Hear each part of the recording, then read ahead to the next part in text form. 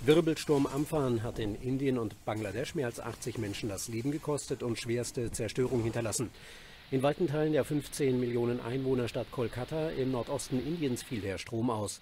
Die Situation sei besorgniserregender als die Coronavirus-Pandemie, sagte die Regierungschefin des betroffenen Bundesstaates Westbengalen.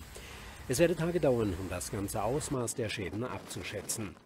Indien und Bangladesch hatten sich in den vergangenen Tagen unter Hochdruck auf den Wirbelsturm vorbereitet. Mehr als drei Millionen Menschen wurden in Notunterkünfte gebracht. Dort herrscht große Angst vor der Ansteckung mit dem Coronavirus. Viele hatten deswegen die Evakuierung ihrer Häuser verweigert. Laut dem indischen Meteorologischen Dienst ist der Zyklon einer der schlimmsten Stürme in der Region der vergangenen 20 Jahre mit Windböen bis zu 185 km/h.